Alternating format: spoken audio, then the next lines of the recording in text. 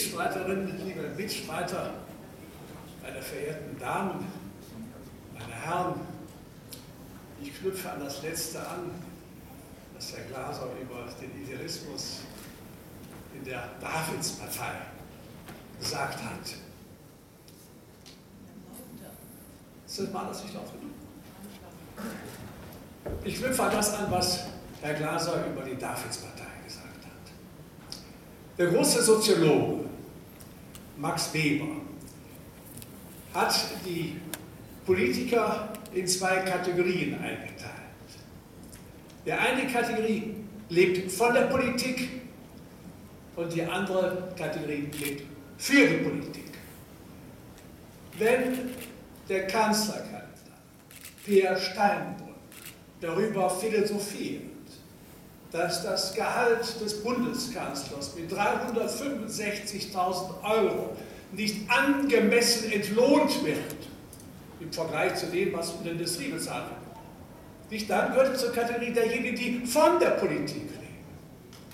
Wir in der Alternative Deutschland leben für die Politik. Für die Politik bedeutet, dass wir mit Engagement für etwas streiten, von dem wir glauben, dass es für die Bürger notwendig ist. Wir streiten nicht für uns. Wir streiten dafür, dass von Europa der Fluch genommen wird, der über diesem wunderbaren Kontinent zurzeit liegt. Wir wollen diesen wunderbaren Kontinent erhalten. Und dafür setzen wir uns ein. Dafür opfern wir unsere Freizeit. Viele nehmen eine Auszeit beruflich, um dafür gewappnet zu sein. Und ich merke auch selbst, dass das Geld kostet. Aber ich tue es, weil ich glaube, dass wir es tun müssen. Und die Relation, die eben genannt wurde, Kassel, Alternative für Deutschland, SPD, 30.000, 7.000 sind eine Relation von etwa 1 zu 6. Das ist eine wunderbare Relation, wenn wir das vergleichen mit dem, was auf dem Bund da ist. Denn man muss wissen, dass die großen Parteien, die, die schon im Bundestag sitzen, den Wahlkampf vorgeschossen bekommen. Wir müssen den aus eigenen Mitteln stemmen, aus Spenden und aus Beiträgen. Und Sie können sich vorstellen, dass das nicht viel ist. Insofern müssen wir mit Engagement das wettmachen, was die anderen uns an finanziellen Mitteln voraus haben.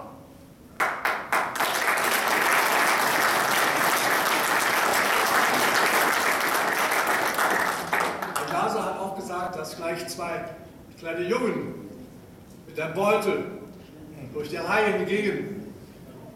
Das erinnert mich an das Wort eines holsteinischen Pastors, der gesagt hat, wenn nachher der Klingelbeutel rund geht, dann will ich es nicht bloß klingeln hören.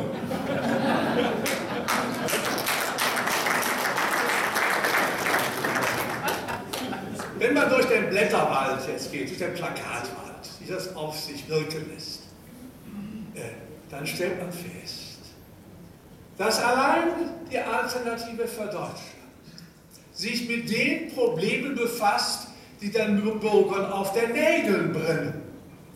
60 Prozent der Deutschen glauben, dass sich Deutschland überhebt, wenn es versucht, in die Schulgemeinschaft zu gehen und die Schulden anderer mit zu übernehmen.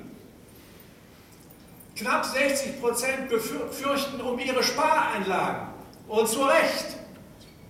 Und 57 Prozent fürchten, dass es Inflation gibt. Wir merken es ja jetzt schon, wenn wir Wochenmärkten einkaufen, wie stark die Preise gestiegen sind. Und wenn wir dann beruhigt werden, dass die Preise für Hochtechnologieprodukte wie Rechner sinken würden, ja, das nützt den normalen Bürgern nichts. Die müssen Tag für Tag mehr berappen.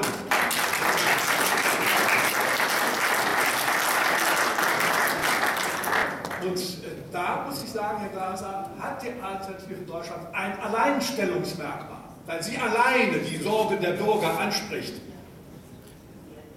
Und Frau Köcher vom Allensbacher Meinungsforschungsinstitut hat gesagt, es gibt eine ganz markante Trennung zwischen dem, was die Parteien für wichtig erachten und auf ihren Plakaten präsentiert, und dem, was die Bürger interessiert. Wenn Sie sich daraufhin die Plakate der anderen Parteien einmal anschauen, ja, dann ist es bei der CDU Waschmittelreklame. Gemeinsam sind wir stark. Wenn Sie dann an die Plakate der Linken denken, da sehen Sie, dass die das Füllhorn der Wohltaten ausschütten, ohne zu überlegen, wie das finanziert werden soll.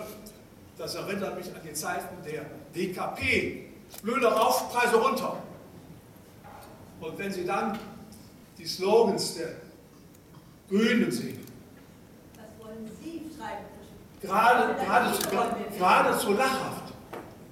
Da steht doch auf einem Plakat, Mutter wird Chef und du.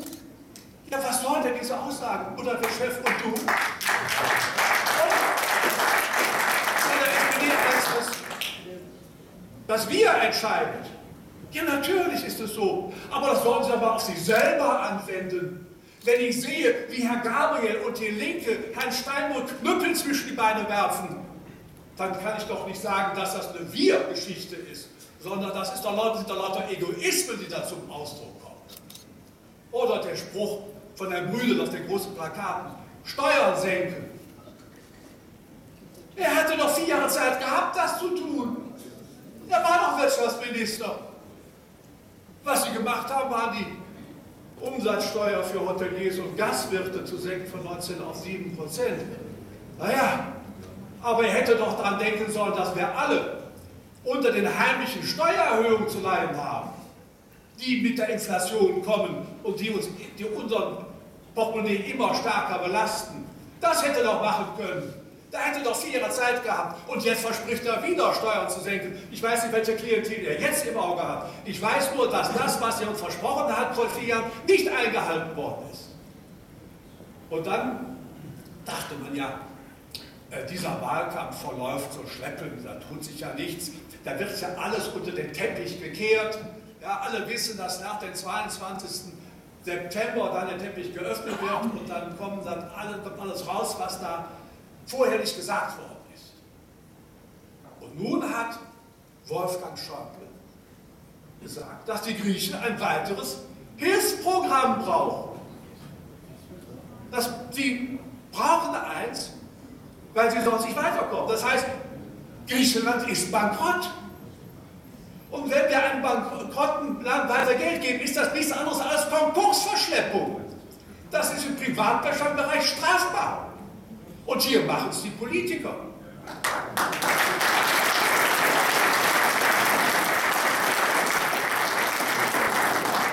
Und Sie alle kennen den Satz, man soll gutes Geld nicht schlechtem hinterherwerfen. Denn was wir wissen ist, dass Griechenland ein Fass ohne Boden ist. Und der frisches Geld verleiht, auf dessen Rückzahlung man vergebens wartet, hat in Wirklichkeit auch die Rückzahlung der alten Schulden abgegeben und verzichtet darauf. Und da hat es dann ja auch mächtig Blätterwald gerauscht. Ich habe das mal herausgenommen. Da hat doch der frühere Bundeskanzler Gerhard Schröder seiner Nachfolgerin vorgeworfen, dass sie die Unwahrheit sagt auf Kosten der Steuerzahler. Und er hat dann gesagt, mit Vertuschen und Verschleiern gewinnt man nicht das Vertrauen des Volkes. Er hat recht. Und weiter hat er gesagt, eine ganz große Lüge werde über die Kosten der Euro-Krise gedeckt, vorbereitet. Alles richtig. Aber wenn er das alles weiß, warum hat er dann als Bundeskanzler die Griechen in die Währungsunion aufgenommen? Hätte doch der Mut zur Wahrheit haben sollen. Es war damals schon klar, dass die Griechen die Statistiken gefälscht hatten. Wenn ich das als normaler Staatsbürger wusste, dass die Griechen den Verteidigungshaushalt einfach nicht hineingerechnet haben, dann wusste ich doch, dass die Zahlen nicht stimmen, die da vorgelegt worden sind. Wenn, wenn, die wussten es. Und wenn, die haben nicht hinschauen wollen. Denn wenn sie hingeschaut hätten und den Griechen gesagt hätten, ihr gehört nicht rein, ihr habt eure Zahlen manipuliert, dann hätten die Griechen gesagt, ja und die Italiener haben das doch auch gemacht. Und die Franzosen auch und sogar wir haben es gemacht. Insofern haben wir diese Geschichte schon längst sozusagen begonnen, als wir eine Währungsunion der Ungleichen eingeführt haben. Und was wir aus der Geschichte wissen, ist, dass eine Währungsunion der Ungleichen niemals funktioniert. Eine Haftungsgemeinschaft führt nicht dazu, da, dazu dass wir uns alle besser, dass uns allen besser geht, sondern dass derjenige, der zahlt, schließlich auch in den Schuldensumpf hineingezogen wird.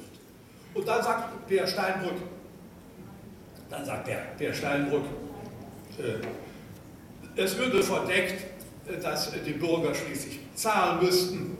Ja, nach den Wahlen würde es auf den Tisch kommen, wie auch bei, den bei der Landtagswahl in Nordrhein-Westfalen. Und dann hat der Bundestag gesagt, Frau Merkel hat die Bürger hinter die Fichte geführt, was immer das heißt. Denn wir steckten bereits bis zum Bauchnabel in der Haftungs- und Schuldenunion. Ja, wenn er das wusste, wenn er weiß, dass jetzt verschleiert wird, warum hat dann die SPD diesen ganzen Programmen zugestimmt? Die Kanzlerin hatte doch. Die Kanzlerin keine Mehrheit. Weil viele Renegaten in der FDP und der CDU nicht für Frau Merkel gestimmt haben. Warum haben sie dazu gestimmt? Warum hat die Bundesregierung geradezu gedrängt, noch schneller in die Schulden hineinzugehen? Und wenn Sie jetzt Euro-Anleihen fordern, so die wirtschaftspolitische Beraterin von Peer Stein, Euro-Anleihen, das heißt, die Starken haften und die Schwachen geben das Geld aus. Das hat in der Welt noch nie funktioniert. Wenn das der Fall ist, sagen dann die Leute, ja, wir müssen das an Auflagen festmachen. Ja, sage ich, und wenn Sie die Auflagen nicht einhalten, willst du Polizei dahin schicken? Das ist doch wirklich nun, wirklich uns dann in die Augen streuen, wenn man sagt, wenn man mit Auflagen kommt, dass dann die Sache eingehalten Und dann ist es so, dass natürlich, wenn Griechenland ein Hilfsprogramm bekommt, dann der Schuldenschnitt für Griechenland auch auf der Tagesordnung ist. Der Internationale Währungsfonds hat es bereits vorgerechnet. Die Deutsche Bundesbank hat es nachgerechnet. Wissenschaftler haben es belegt, dass Griechenland nicht in der Lage ist, 170 Prozent Staatsverschuldung zu stemmen. Das gibt der Haushalt einfach nicht her.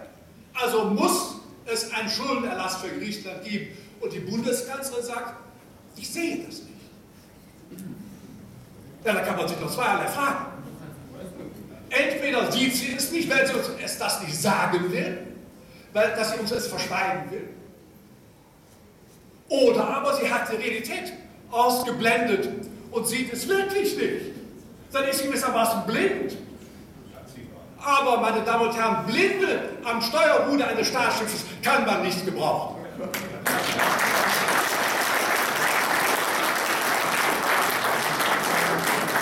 Wenn man, das, wenn man sich jetzt die Eurozone anschaut, äh, kann man Folgendes erkennen.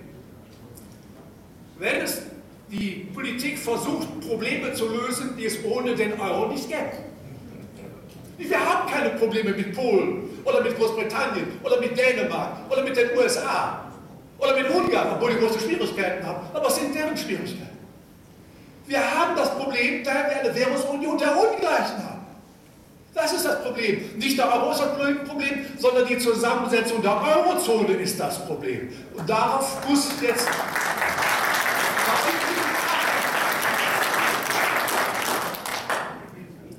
Weiter gilt, dass die Länder, die jetzt notleidende Schuldnerländer geworden sind, gewissermaßen verführt worden sind zu Politiken, die sie jetzt nicht mehr finanzieren können. Denn man muss wissen, äh, dass für viele Länder, die in die Währungsunion hineindrängten, das niedrige deutsche Zinsniveau das war, was sie haben wollten. Vorher hatten sie Zinsen bezahlt von 25 Prozent in Griechenland, von 18, 19 Prozent in Spanien oder Italien. Und als die Währungsunion hineinkamen, dann erbten sie alle das deutsche Zinsniveau von 4 und 5 Prozent. Warum waren die Zinsen in den Ländern so hoch? Weil sie höhere Inflationsraten hatten, weil sie geringere Produktivitätsentwicklung hatten und weil diese Länder ständig abwerten mussten. Und wenn ein Land abwerten muss, ist klar, dass dann die Kapitalanleger sagen, Dann will ich aber das im Zins entgolten haben, was ich als Risiko trage, wenn deine Währung abgewertet wird. Darum waren die Zinsen so hoch. Und jetzt kommen Sie ins Euroland und bekommen Zinsen von 4, 5 Prozent. Im Deutschen Bundestag haben Herr Genscher und Herr Weigel, die damals verantwortlich waren, gesagt, ja, dieses Zinsgeschäft werden diese Länder nutzen, ihre Haushalte zu sanieren und ihre Industrie zu modernisieren.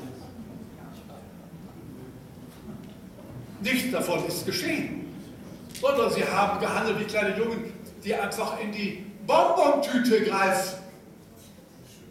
Ja, wenn auf einmal die Zinsen sinken von 25 auf 4 Prozent, dann wird da vieles erschwinglich, was vorher nicht vorstellbar war, dass man das sich kaufen könnte. Und dann haben sie eben auch private und öffentliche Verschuldung gemacht. Insofern sind sie in das sozusagen verführt worden zu einer Schuldenorgie und jetzt müssen sie dafür aufhören. Und weiter kann man sagen, darum habe ich ja auch vor dem Bundesverfassungsgericht geklagt. Nicht, weil ich persönlich gegen den Euro bin oder weil ich gerne äh, prozessiere, sondern weil ich gewusst habe, dass eine Währungsunion der Ungleichen scheitern muss. Das ist mal wie, wie in einem offenen Buch zu lesen. Nicht, wenn die einen hohe Produktivität haben, der andere niedrige Produktivität, und dann die Lohnkosten unterschiedlich sind, das muss in die Binsen gehen. Das war offen, das war offenbar. Und jetzt kann man wieder wie in einem offenen Buch lesen. Wir sind auf dem Weg in die Schuldenunion, in die Haftungsgemeinschaft. Und genau was wir wissen ist, wenn wir eine Haftungsgemeinschaft haben, wenn die Starken, die einigermaßen verlässlich gläubiger Länder haften und auf der anderen Seite die Schuldnerstaaten das Geld ausgeben können, ja, wie kann ich dann diejenigen, die das Geld ausgeben können, disziplinieren? Die werden doch immer sagen, ja, ich bemühe mich ja, aber ich schaffe es einfach nicht, wie die Griechen, die uns seit drei Jahren sagen, wir bemühen uns ja. Aber wir schaffen es nicht. Ja, und wenn man sie nicht herauswerfen kann, dann können sie das bis in alle Ewigkeit machen. So sieht es aus. Jetzt kann man genau sagen, was kommt. Es kommt die Schulden- und Haftungsunion und irgendwann kracht das ganze System zusammen. Warum? Weil nicht alle Länder, die Gläubigerländer sind, so stark sind wie Deutschland. Wenn Sie nach Frankreich gehen, ist die Arbeitslosigkeit von 5 auf 11 Prozent angestiegen. Bei uns ist sie von 8 auf 5 Prozent heruntergegangen. Die Wachstumsrate ist nahezu null in Frankreich. Die haben einen Verlust der internationalen Wettbewerbsfähigkeit. Und sie haben ein unaufgeräumtes sozialpolitisches Umfeld. Nicht, wie sollen die die Schulden tragen? Von anderen. Und Frankreich ist mit 20 Prozent beteiligt, wir mit 27 Prozent. Aber wenn die 20 Prozent ausfallen, weil die Franzosen sagen, das können wir nicht mehr schultern, können die 27 Prozent das nicht übernehmen, dann bricht alles zusammen. Und das ist das Schlimmste, was uns passieren kann, dass alles in der Eurozone zusammenbricht. Darum sagen wir, wir brauchen den Mut zur Wahrheit. Was können wir machen, um das zu verhindern? Und die Losung muss sein, nicht Banken retten, sondern Länder retten. Bisher war ja europäische Solidarität. Bisher war europäische Solidarität nichts anderes als Solidarität mit den Banken. Den französischen Banken und auch den britischen Banken, die stark in Griechenland oder in Irland äh, engagiert waren. Nicht? Und da sieht man genau, dass es eben nicht den Ländern zugute kam. Die Iren sind im Jahre 2010, als man den Rettungsschirm aufgemacht hatte, geradezu gedrängt worden, unter den Rettungsschirm zu gehen. Man hat den 80 Milliarden Euro gegeben, der, griechischen, der irischen Regierung.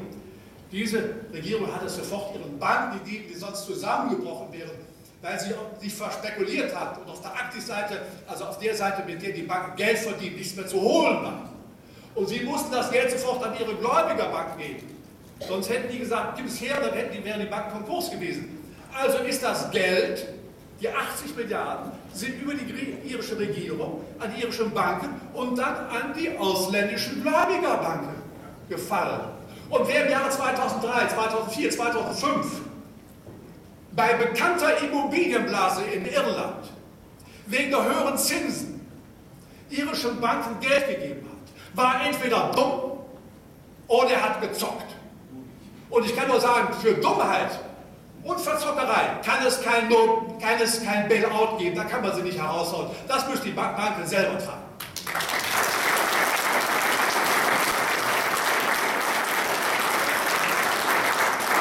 Dann mögen Sie sagen, naja, 80 Milliarden Euro. Die Iren haben ein Sechzehntel unseres Bruttoinlandsproduktes. Auf uns übertragen wären 80 Milliarden 1,28 Billionen, die wir zahlen müssten. So ist die Relation. So können Sie sich vorstellen, dass nur die jetzigen Griechen, sondern auch die zukünftigen Griechen und die Kinder der zukünftigen Griechen dafür noch bluten müssen, dass wir Banken herausgehaut haben. Das ist europäische Solidarität zurzeit, meine Herren und Damen.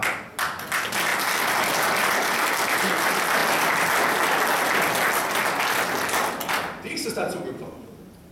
Ich habe dazu ein Buch geschrieben, Tat auf Euro. Der Tatort ist Brüssel. Es war äh, erkennbar im Frühjahr des Jahres 2010, dass die Griechen bankrott waren. Sind Unternehmer. Jeder Unternehmer von Ihnen weiß, wenn er von der Bank oder von den Kapitalmärkten kein Geld mehr bekommt und illiquide ist oder insolvent ist, dann ist er bankrott. Und Griechenland war bankrott. Ja, und dann hat man Griechenland ein Hilfsprogramm gegeben, 110 Milliarden Euro. Das sollte dann am 7. Mai des Jahres 2010 in Brüssel, in Brüssel feierlich unterzeichnet werden. Aber anstatt sich zuzubrusten und Herrn Papadrio zu gratulieren, dass man ihn gerettet hat, höre ich am nächsten Morgen in den Frühnachrichten, dass die Regierungs- und Staatschefs ein Rettungsprogramm in Höhe von 750 Milliarden Euro aufgelegt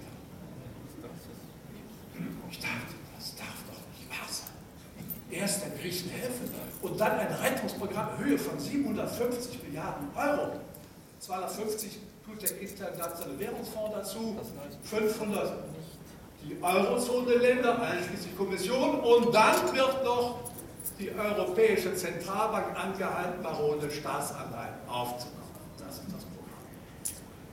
Ich dachte, das Programm ändert doch Europa. Hat es denn dazu eine Tagesordnung gegeben? Sie wissen, wenn Sie in einem Verein sind und einladen, müssen Sie zwei Wochen vorher die Tagesordnung herumschicken, damit sich jeder auf die Tagesordnung vorbereiten kann. Und hier ist etwas entschieden worden ohne Tagesordnung. Niemand von uns weiß, was da besprochen worden ist. Es gibt kein belastbares Protokoll. Wir wissen nicht, wer mit wem verhandelt hat. Wir wissen nicht, wer das große Wort geführt hat. Wir wissen nicht, welche Absprachen es zwischendurch gegeben hat, welche Einzelgespräche es gegeben hat. Wir wissen nicht, wer beraten hat. Das wissen wir alles nicht. Es gibt kein Protokoll darüber. Als ich Volker Kauder einmal gefragt habe, Herr Kauder, was ist denn da besprochen worden? Da hat er mir gesagt, ich werde doch einem Eurogegner wie Ihnen das nicht sagen. da habe ich nur Herrn Kauder gesagt, wenn Sie das sagen, weiß ich genug. Dann ist es etwas, was man öffentlich nicht sagen kann. Darf es richtig. Weil dann die Leute die Ohren spitzen, wenn bei uns ein Gesetz gemacht wird, nur zum Vergleich. Irgendein Gesetz. Nicht dann geht der Ministerialrat, der für verantwortlich ist, raus, bespricht sich mit Leuten, für das Gesetz gelten soll, wird Sachverständige an, macht einen Entwurf, dieser Entwurf geht dann die Hierarchie nach oben bis zum Staatssekretär, dann geht das mit Vermerken wieder runter bis zum Ministerialrat, dann geht es ins Kabinett, dann wird im Kabinett entschieden, dann geht es im Bundestag, erste Lesung, grundsätzliche Aussprache, warum ist das Gesetz überhaupt erforderlich, welche Kosten sind damit verbunden, gibt es Alternativen, dann wird es an die Ausschüsse verwiesen, dann wird das Gesetz Punkt für Punkt durchberaten, wieder mit Hearings und dann geht es wieder im Bundestag, zweite und dritte Lesung, wo dann Änderungsvorschläge gemacht werden können, die diskutiert werden, eingearbeitet werden können. Und wenn es ein zustimmungsbedürftiges Gesetz ist, wenn also der Bundesrat zustimmen muss, weil es Länderinteressen betrifft, dann muss auch der Bundesrat zustimmen. Und nachher, wir können alles nachlesen. Das genau ist dokumentiert. Denn Demokratie heißt nicht, dass wir alle vier Jahre wählen und dann, uns dann alles gefallen lassen, was da gemacht wird. Nein, Demokratie heißt, dass wir den Willensprozess, den Willensbildungsprozess nachvollziehen können. Das ist Demokratie. Demokratie ist Transparenz. Und wenn wir jetzt die Veränderung Europas haben, ohne dass wir wissen, was da geschehen ist, wir wissen nur, dass die Staats- und Regierungschefs mit einem Handstreich die No-Bail-Out-Klausel vom Tisch gewischt haben. Und die No-Bail-Out-Klausel besagt, weder die Gemeinschaft noch ein Mitgliedstaat tritt für die finanziellen Verpflichtungen eines anderen Mitgliedstaates auf. Das ist ja genau hier dokumentiert auch, was da die CDU damals gesagt hat. Das wäre alles in Stein gemeißelt, dass kein Staat für den anderen beruhen muss. Ich habe die Protokolle im Bundestag noch einmal nachgelesen. Das war ganz klar, dass das nicht passieren darf. Und jetzt ist das ein Federstrich von den Staats- und Regierungschefs vom Tisch gewischt worden. Wissen Sie, wie ich das nenne? Das ist ein Putsch der Staats- und Regierungsgeschäfte, der, der Staats- und Regierungschefs gegen die eigene Bevölkerung.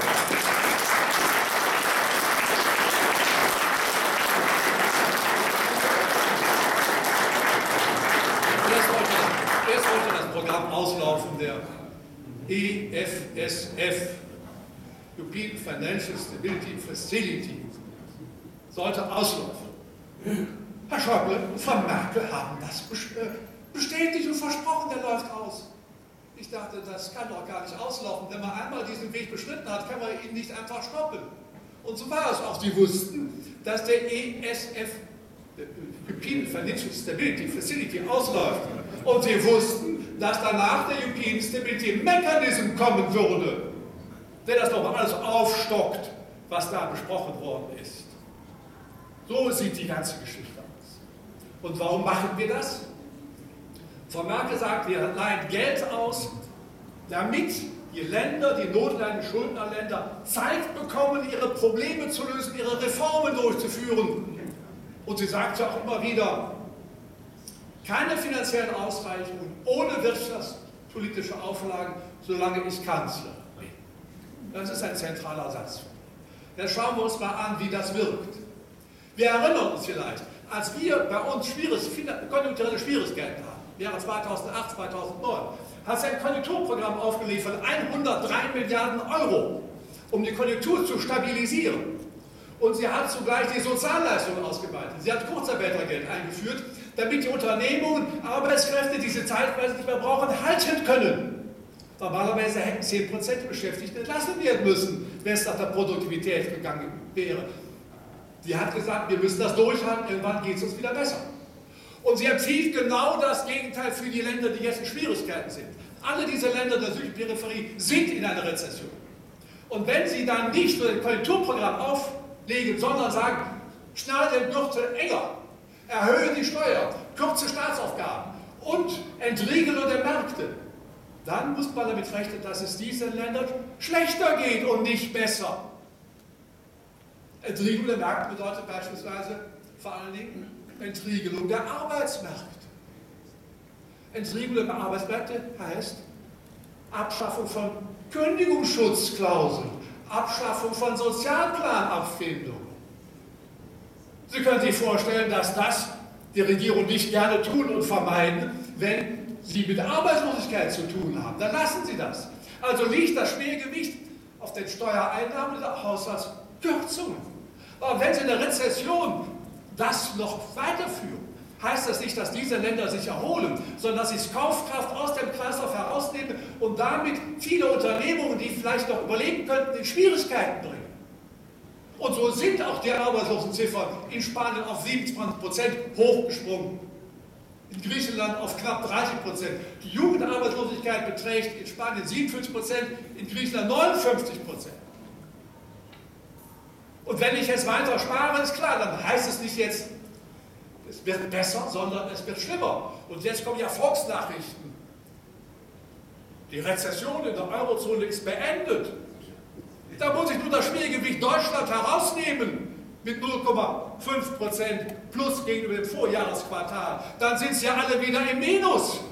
So sieht es aus. Was wir also hier haben, ist, dass der Sturz ins Elend jetzt die Talzone erreicht hat. Das können wir feststellen. Und die Talsohle ist bitter genug, denn diese ganze Politik führt dazu, dass mittelständische Unternehmen jetzt nicht überleben können, weil keine Nachfrage da ist und weil die Banken nichts mehr herausrücken. Die Banken kaufen lieber Staatsanleihen, als das Geld, das ihnen billig von der EZB zur Verfügung gestellt wird, an spanische oder griechische Unternehmen weiterzugeben, weil die Risiken doch zu hoch sind. So sieht es aus. Und Enrico Letta hat gesagt, wir machen keine Austerity-Politik mehr. Und auch der französische Finanzminister Moscovici hat gesagt, die Austerity-Politik von Angela Merkel ist tot. Ja, das heißt, das, was sie sich erhofft hat, über Reformen zu einer Gesundung der Länder zu kommen, das können wir streichen. Das wird nicht passieren. Das, was noch passieren wird, ist, dass der Fall sozusagen nach unten abgedämpft wird. Aber der Aufprall ist immer noch heftig und die Arbeitslosigkeit bleibt. Es sei denn, es käme frisches Kapital ins Land, um Arbeitsplätze zu schaffen. Aber wenn das nicht der Fall ist, werden diese Länder auf, diese, auf dieser Stufe des Elends verharren. Und dann sagen wir natürlich, das kann nicht zu einem glücklichen Ende führen. Und dann höre ich davon, Theodor Weigel, äh, dass wir äh, der Koalition, der CDU, CSU und der FDP Stimmen wegnehmen würden. Sie würden doch dagegen sein, dass es zu einer Haftungsunion kommt. Da sage ich, alles, was Sie bisher gemacht haben, war ein Marsch in die Haftungsgemeinschaft, in die Schuldenunion. Das beginnt ja schon.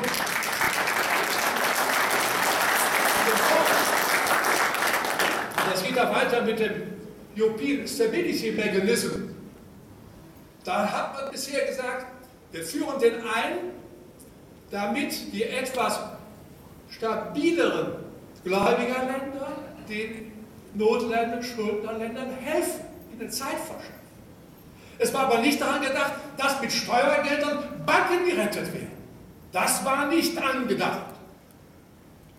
Und im Kommuniqué vom 28. und 29. Juni letzten Jahres ist dann das doch hineingekommen gegen den Widerstand der deutschen Bundesregierung. Und Schäuble hat erst so getan, als ob es das nicht gäbe. Er musste sich dann eines Besseren belehren lassen. Und dann hat er gesagt, Steuergelder für Banken zu verwenden, widerspricht den europäischen Verträgen.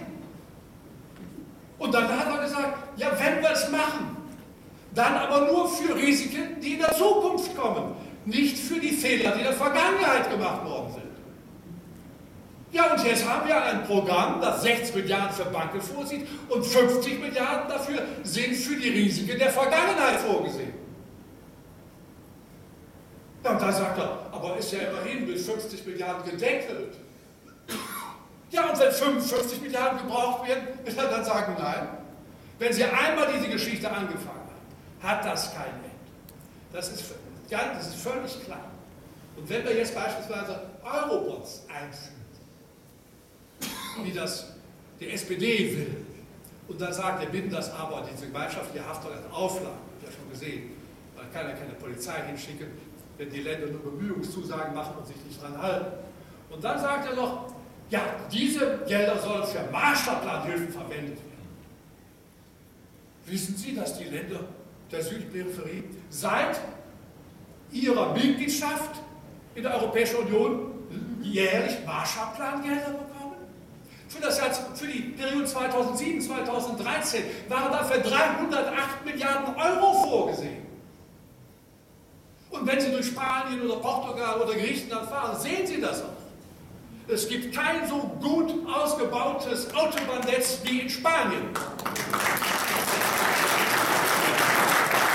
Da führen sogar Autobahnen zur Urbanisation, also zu Wohnständen, die niemals bewohnt sein werden. Dann haben wir Regionalflughäfen, beispielsweise Valencia, modernstens ausgerüstet, die noch nie ein Flugzeug gesehen haben. Dann gehen Sie, dann gehen Sie, dann gehen Sie nach Portugal.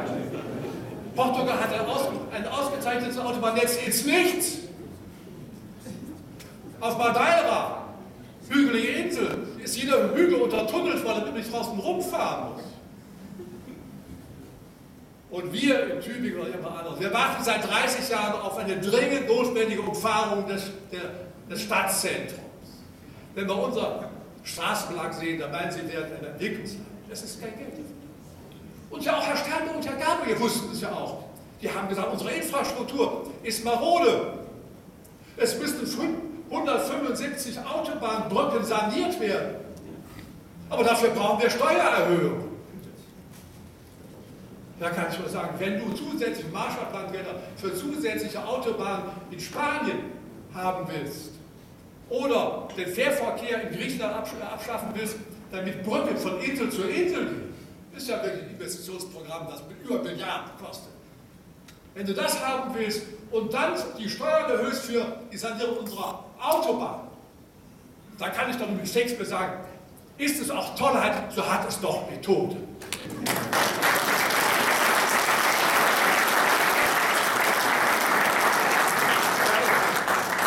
Schauen wir uns an, was die Europäische Zentralbank macht. Sie hat den Zins nahezu auf Null heruntergesetzt weil die Notländer, Schuldnerländer natürlich billig an Geld kommen sollen. Dieser Zinssatz ist für uns viel zu niedrig. Bei uns türmen sich langsam Immobilienblasen auf, wie es immer der Fall ist, wenn der Zinssatz zu niedrig ist im Vergleich zu dem, was normalerweise der Zinssatz sein sollte. Und dieses Geld fließt ja nicht die, zu den Unternehmungen, sondern dafür werden dann Staatsanleihen äh, gekauft und das bedeutet, dass nochmals die Aktivseite der Banken belastet wird mit Anleihen, die nachher nicht mehr zurückgezahlt und getilgt und bedient werden können. Und was bedeutet das für uns? Spareinlagen werden mit maximal 1% besteuert. Das ist so das Maximum. Ja, mehr, mehr als, mehr als äh, die Zinsen sind maximal 1%. Maximal 1%. Und äh, die Inflationsrate war 1,9, 1,6 Prozent. Aber wenn Sie die gefühlte Inflationsrate nehmen, was tatsächlich bei uns in der Tasche bleibt, ist die Inflationsrate ja weitaus höher. Und wenn wir das sozusagen mit den Spareinlagen und den Sparzinsen vergleichen, ist das ein riesiges Verlustgeschäft. Und das muss auch noch versteuert werden.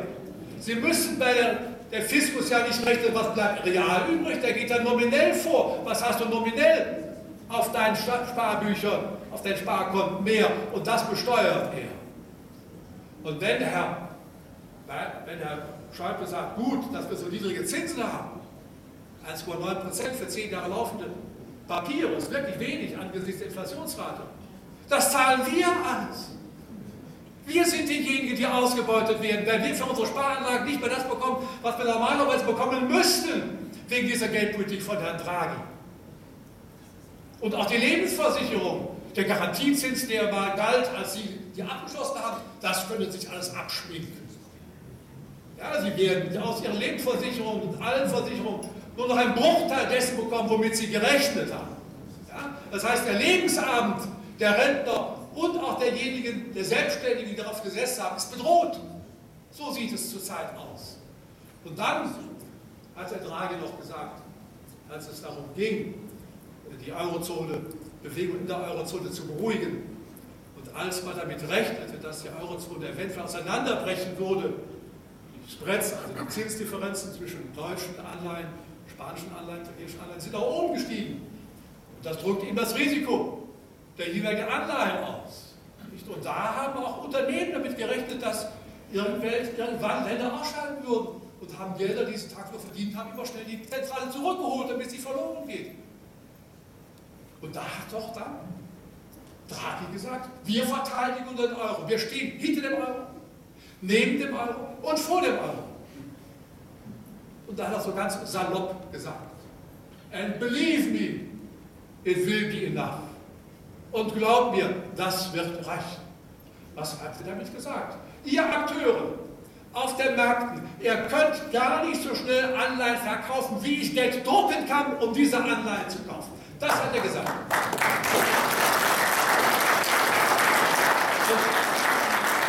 Das haben die Märkte verstanden. Die Aktienkurse sind nach oben geschossen. Und das ist alles höchst volatil, wie die Fachleute sagen. Ich, wenn ja, wenn Bernanke sagt, ich gehe mit dem Fuß vom Gas, nicht bremsen, nur vom Gas, dann brechen sofort die Aktienkurse das ist alles eine künstliche Blase, die da jetzt gemacht worden ist. Und da kann ich nur sagen, wir müssen Mario Draghi das Handwerk legen, ehe alle Sparer enteignet worden sind.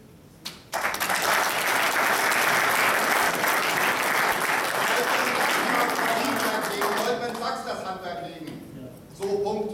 Und nicht nur einen oder irgendeinen Freund oder irgendjemand. Ja, Moment, Moment, Moment, nicht so schnell, nicht so schnell. Nicht so schnell. Also ich habe neulich bei der Distel, der, der Distel, die, äh, eine, ein Kabarett, da wurde gesagt, alle Politiker müssen ja äh, nach den Gesetzen des, der Finanzmärkte herumtanzen, bei ihnen das Gesetz des Handels aufdrückt. Nur Herr Draghi, der kann es machen. Und da haben sie gefragt, ja, haben sie hier Marionette dargestellt. Wer zieht denn die Strippen bei Herrn Draghi? Da war auch Holtmann Sachs zu sehen, die die Strippe da gezogen haben. Nichts, das kann man natürlich so sehen. Und da kann man doch sagen, wir wollen nicht nur Herrn Draghi, sondern auch Goldman Sachs das Handwerk legen. Wie kommen wir da raus?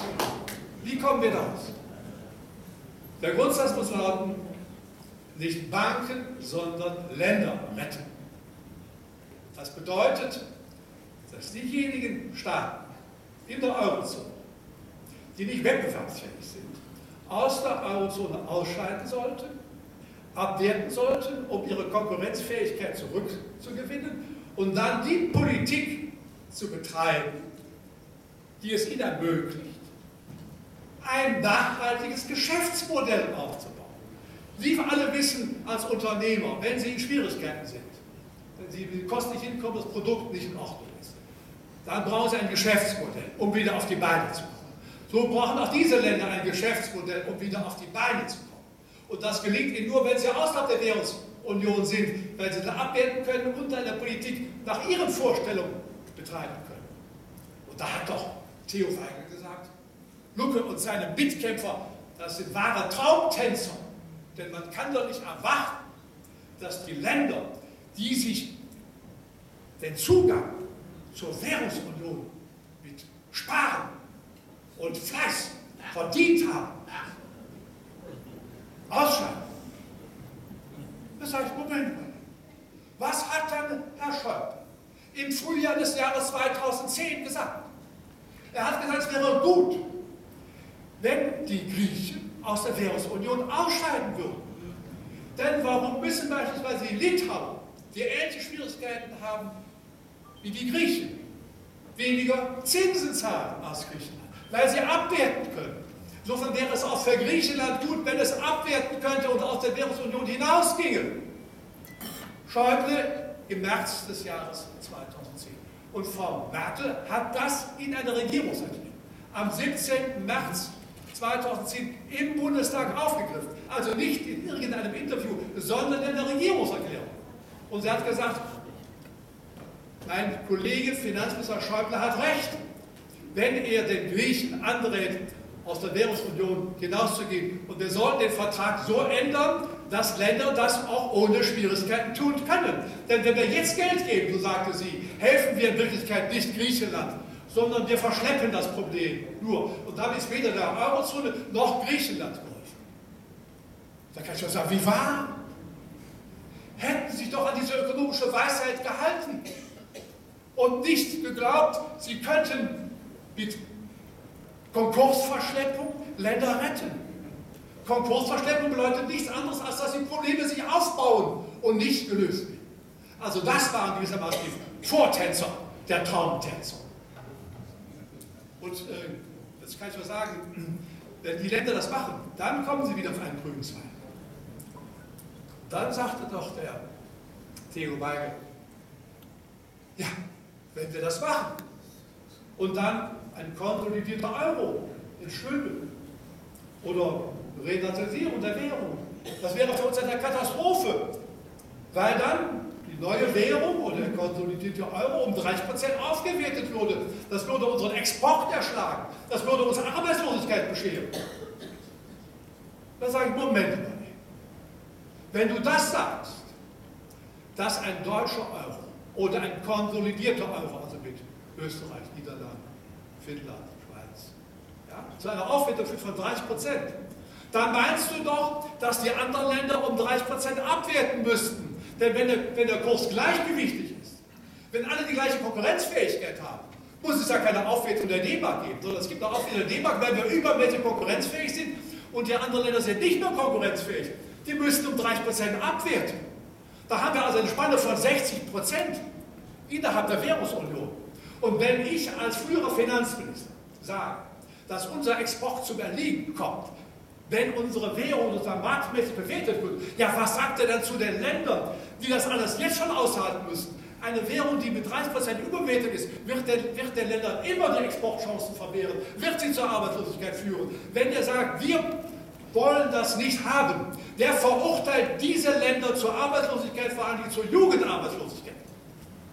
Und, äh, wer nicht will, dass diese Länder ausscheiden oder dass wir ausscheiden. Wer also dafür ist oder dafür plädiert, diese Diskrepanz von 60% Wettbewerbsungleichheit in der Eurozone zu halten, ja, der muss ja automatisch zur Haftungsunion kommen. Es gab wer also sagt, die Eurozone wird nicht verändert, das bleibt so. Der plädiert für die Haftungsunion, auch wenn er etwas anderes sagt. Das muss man, der, muss man Herrn Weigel und auch Frau Merkel sagen. Wenn du das auch darauf bestehst, dann werden wir einfach den Marsch in der Schulden weitergehen müssen.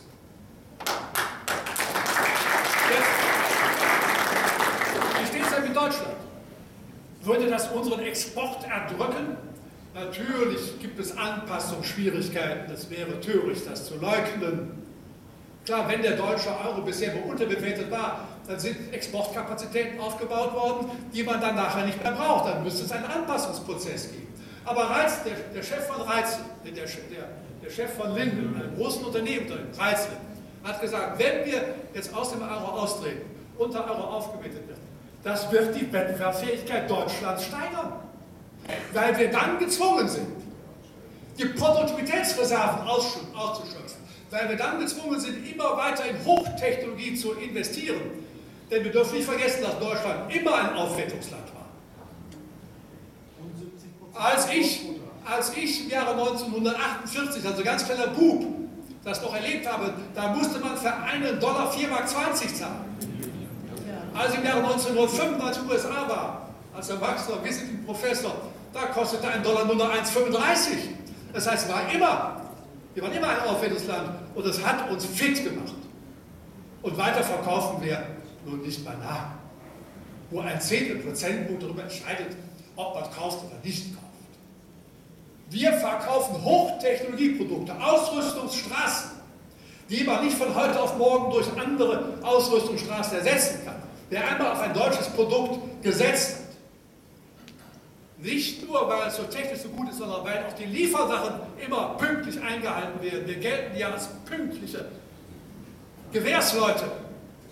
Der wird es weiterkaufen. Ist völlig klar.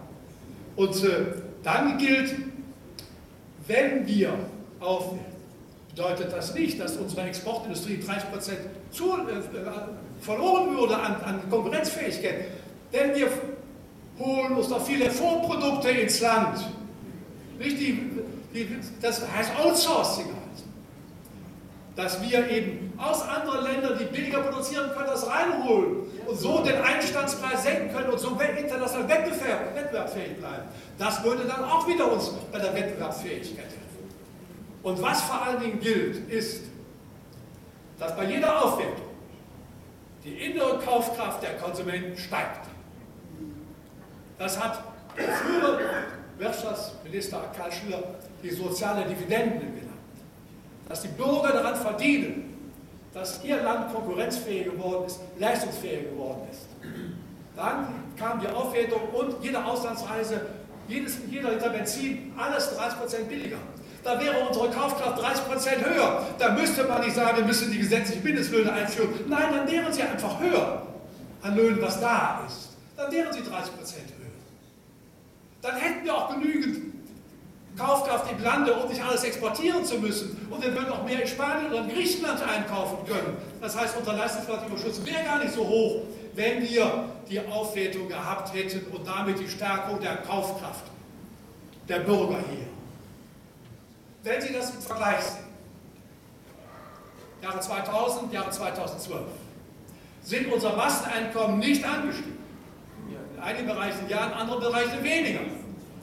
Weil die bescheidene Lohnsteigerung der Gewerkschaften, die uns internationale Konkurrenzfähigkeit beschert haben, dafür gesorgt haben, dass wir eben äh, unsere Lohnkosten konstant, haben, äh, konstant halten haben können. Und äh, weiter gilt natürlich, dass wir heimische Steuererhöhungen haben bei Inflation, sodass die Masseneinkommen nicht sind. Und wissen Sie, wo die Einkommen angestiegen sind? Bei den DAX-Vorständen, also bei den Vorständen der großen Unternehmungen. Da sind die Gehaltssteigerungen, da haben die Gehaltssteigerungen seit 2000 einen Sprung von 170 Prozent gemacht. Da ist die Aufwertung liegen. Ich hätte mir gewünscht, dass der Fleiß der Bürger hier auch uns selbst zugutekommt und nicht nach einigen Leuten da oben.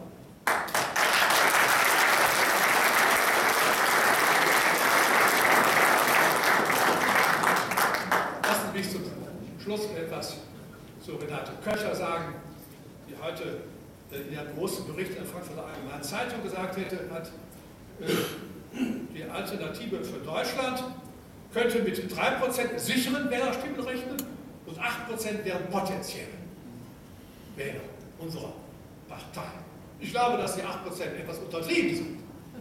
Ja, aber wir werden es schaffen, von diesen 8 oder 20% die notwendigen Prozentpunkte zu bekommen, um über 5% zu kommen.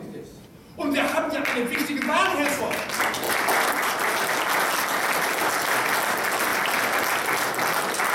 Wir haben einen wichtigen Wahlhelfer, den Erzbischof von Freiburg. Der gesagt hat, diese Alternative für Deutschland, die, das sind ja Leute, die einfach am Gestern hängen. Er hoffte nicht, dass diese Nostalgiker in den Bundestag kämen und er rechnete auch nicht damit, dass sie in den Bundestag kämen. Da kann ich nur sagen, lieber Herr Bischof, wenn ich mir Ihr Interview ansehe, dann merke ich, dass Sie als Esel auf das Eis gegangen sind. Wenn ich, wenn ich weiß, dass Sie von der Währungssache und den internationalen Finanzkrisen wirklich nichts verstehen. Muss man ja auch. Aber dann soll man ja seinen Bund. Aber jetzt, jetzt lassen Sie mich was zu den Nostalgikern sagen. Ich bin bekennender Europa-Nostalgiker. Was zeichnet Europa aus? Ich möchte, dass das, was am 7. 8. Mai in Brüssel gemacht ist, das Wegwischen der hoch und heilig versprochenen No-Bail-Out-Klausel, also kein Land kann damit rechnen, dass es aus den Schwierigkeiten herausgehauen wird, wenn es selber an diesen Schwierigkeiten schuld ist durch parlamentarische Beschlüsse. Das muss wieder Gesetz werden. Denn ansonsten ist aus der europäischen Rechtsgemeinschaft eine politische Hauruck-Gesellschaft geworden mit unübersehbaren Kollateralschäden. Und da genau das will ich nicht, da bin ich nostalgisch.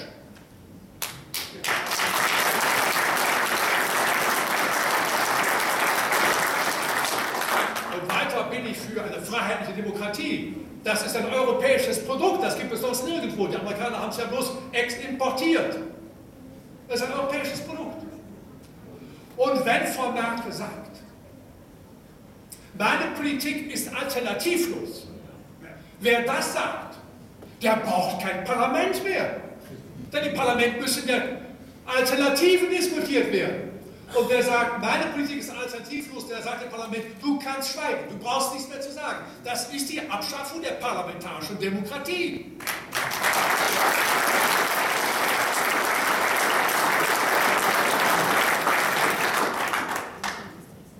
Und wir brauchen diese Demokratie, denn das bedeutet nichts anderes, als dass Bürger mitsprechen können. Da bin ich auch ganz Nostalgiker. Ich möchte auch, dass die Völker und die Menschen Europas sich in Frieden und Freundschaft begegnen. Ich möchte keine Haftungsgemeinschaft haben, wo sich die einen gegängelt und die anderen ausgenutzt fühlen. Das ist nicht das zukünftige Europa, das ich mir vorstelle. Ich möchte Europa, wo die Menschen sich auf Augenhöhe begegnen. Da muss kein griechischer Bürger mehr dankbar sein, dass unsere Regierung ihm Geld gegeben hat, dass er sein Banken und den ausländischen Banken hat weitergeben müssen. Das möchte ich nicht. Ich möchte auch, dass wir weiter in Frieden leben. Wenn beispielsweise Frau Merkel 7000 Polizisten braucht, um ihren Staatsbesuch abzuarbeiten in Athen. Und damals Konsul Adenauer mit sieben Polizisten ausgekommen ist, dann kann man doch nicht sagen, dass unser Europa friedlicher geworden ist durch die Eurozone.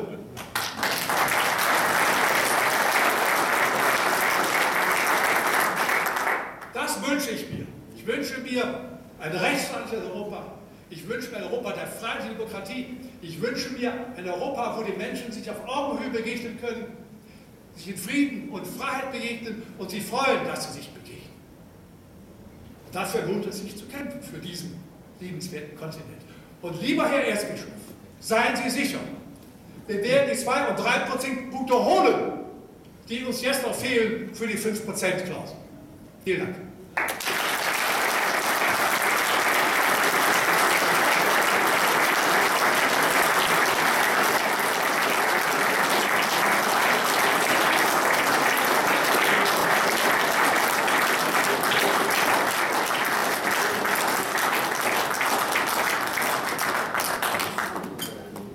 Dank, Herr Professor Stabatti, für den sehr interessanten, sehr lebhaften Vortrag. Ich denke auch für uns, die wir ja die meisten ohnehin äh, relativ gut informiert sind, was das Thema Euro anbelangt, haben Sie noch wichtige, wesentliche Details gebracht und vor allen Dingen auch die Zusammenhänge hergestellt. Ganz herzlichen Dank dafür. Wir haben uns überlegt, dass Sie natürlich wahrscheinlich auch noch ein paar Fragen haben. Und ich würde gerne versuchen, Ihren Fragen Wünschen entgegenzukommen, also auch tatsächlich entgegenzukommen, indem ich Ihnen das Mikrofon bringe, wenn Fragen vorhanden sind. Also wer Fragen hat, bitte aufzeigen. Da hinten ist der junge Herr war vor Ihnen. Dann gehe ich mal das Mikrofon dorthin. Frage. Frage. Sagen Sie aufs Mikrofon, damit Sie alle hören können, bitte.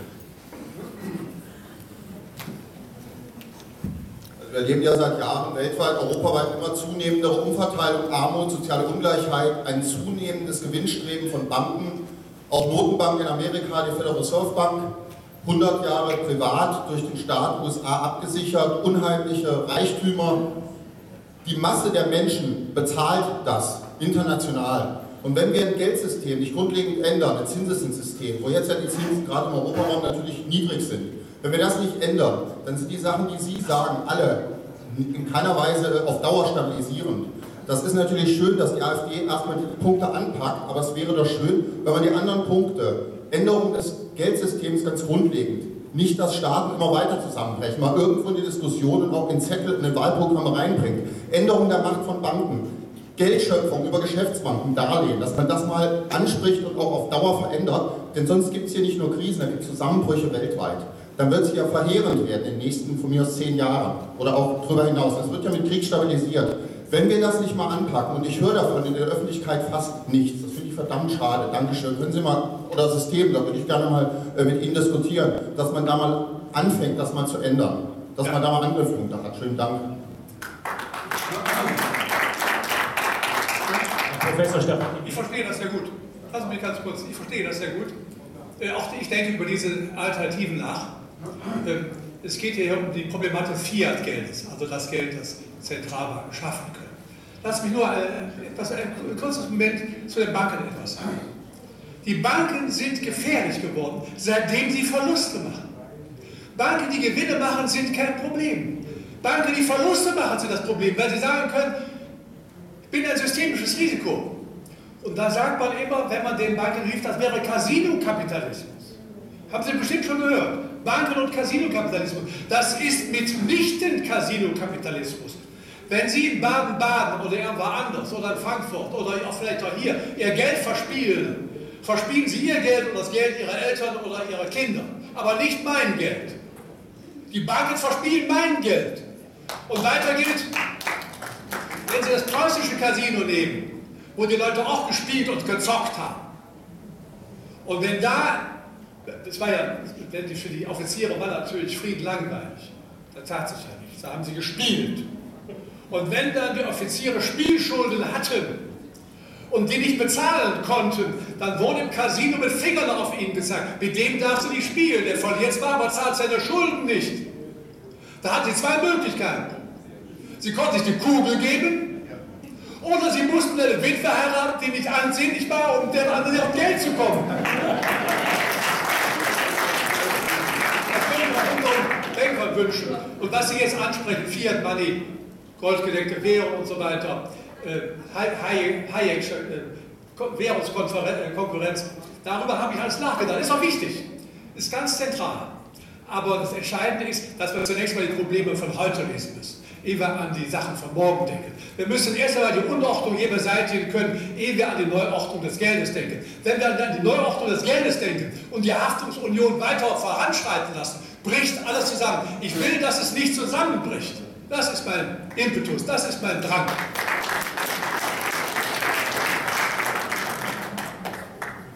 Im Moment der Herr Blauen T-Shirt, glaube ich. Ich hätte mal eine kleine Schätzfrage an Sie alle. Denn wir gehen jetzt einfach mal davon aus, wir hätten 1945 ähm, schon den Euro gehabt und die Bundesrepublik hätte 1945 einen Kredit in Höhe von 50.000 Euro aufgenommen. Und dieser Kredit würde heute fällig werden. Wie viel Geld müsste die Bundesrepublik Deutschland heute zurückzahlen? Ähm, einfach mal ein bisschen mitzumachen. Jeder, der meint, es sind 100.000 Euro oder mehr, bitte aufstehen. Herr Blor, wir bedeuten jetzt diese kleine Spielchen. Ich kann Ihnen genau sagen, was das Ergebnis ist. Das, die, die Geldmengen, die Scheine, die Sie aufeinanderlegen, reichen ist es höher als der Kölner Dom, auch wenn Sie 1000 Euro Scheine zusammenlegen. Das kann ich Ihnen genau sagen. Das, nee, das, ist, das ist nicht das Problem von heute. Das Problem von heute ist, dass Griechenland kon konkursreif ist. Das ist das Problem. Und dass wir alle mit in diesen Schuldensumpf hineinkommen, das ist das Problem. Nicht das Zinseszinsproblem. Das ist nicht das Problem von heute. Frage dann einfach nur beantworten. Es wären 5 Millionen Euro. Ja, bitte. Also ein Kredit von 68 Jahren. Bis zum, das geht bis zum Kölner Dom hoch. Würde jetzt als Rückzahlung mit Zinseszinsrechnung 68, äh, 68 Jahre 5 Millionen Euro ausmachen. Und da die Bundesrepublik noch, noch nie einen zurückgezahlt hat. Sie, Sie haben völlig recht. Äh, die, die Märkte gucken nicht darauf, ob man zurückzahlt, sondern die Märkte gucken darauf, ob man die Anleihen bedienen kann. Das ist das entscheidende Kriterium. Ja. Also bitte Fragen stellen und ich gebe das Mikrofon an Sie. Ja, vielen Dank, Herr Professor Stamati, für Ihren hochinteressanten Vortrag.